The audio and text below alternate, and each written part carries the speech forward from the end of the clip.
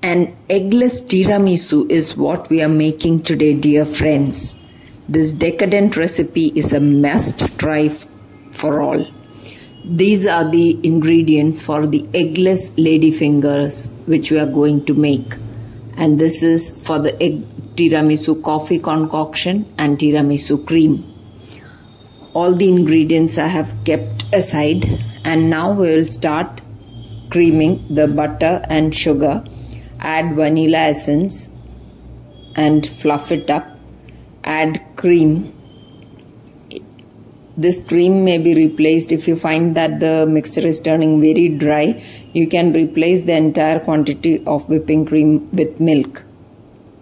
After that mix the potato flour or corn flour and baking powder into gluten free flour or maida which you would have taken. Mix it well and then sift it into the butter sugar mix. Mix this very well and if you find that this is turning out too dry you may increase the quantity of milk. Increase it to 40 or 50 ml. Once it is mixed thoroughly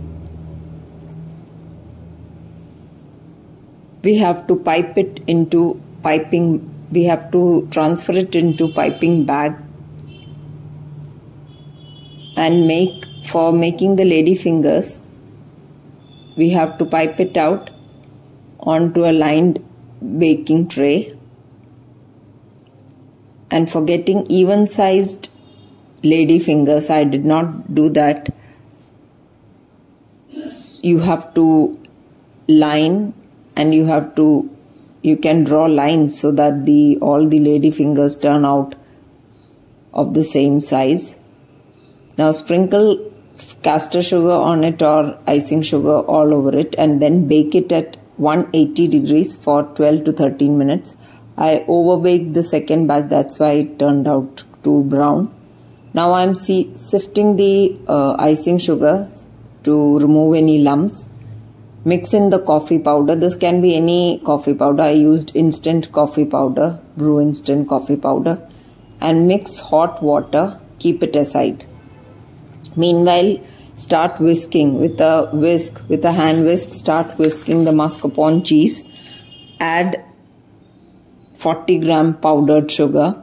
Keep it aside. Take whipping cream. This i have taken uh, dairy whipping cream so it is not sweet. If you're taking uh, vegetable oil whipping cream non-dairy whipping cream that might be sweet so no need to add the sugar. This quantity of sugar also depends on how sweet you want your tiramisu to be. You have to get the high peak the uh, hard peak stage here. Once you get the um, hard peak stage just whisk the mascarpone mix as well. Do not overmix this mascarpone cheese mix otherwise it may curdle. After that transfer the mascarpone mix into the whipping cream which has reached the stiff peak stage.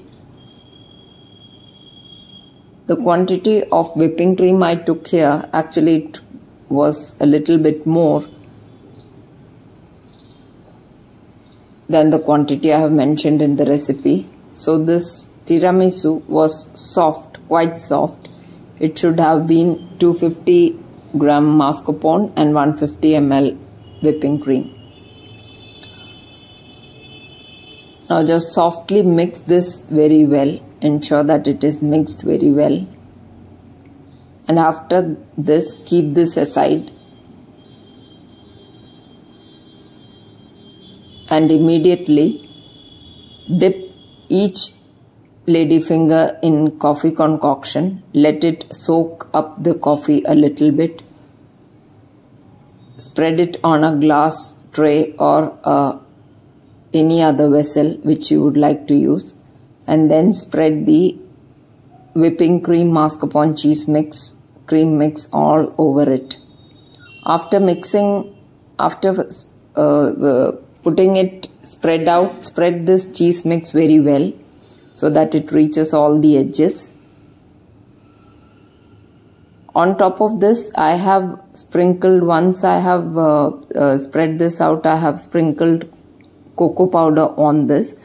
You may substitute that with drinking chocolate or any other mix which you would like as a um, some coffee lovers use coffee powder also in place of this cocoa powder or some use drinking chocolate mix on all over this you may add some chocolate shavings also in between. Then the second layer. On top of that, in the same way, I'll spread the second layer of lady fingers dipped in coffee concoction and then spread out the mix evenly and this will fill the top of the vessel. Spread it out and evenly distribute cocoa powder or drinking chocolate or nothing at all. That can also be an option. And then keep this in the fridge for at least 5 to 6 hours. Now since this quantity of whipping cream was a little bit more as I told you so this has turned out a little bit soft but it is very tender and melt in the mouth recipe so I do in fact, I'm requesting all my viewers to try out this recipe. There is no egg in this, so it can be easily made.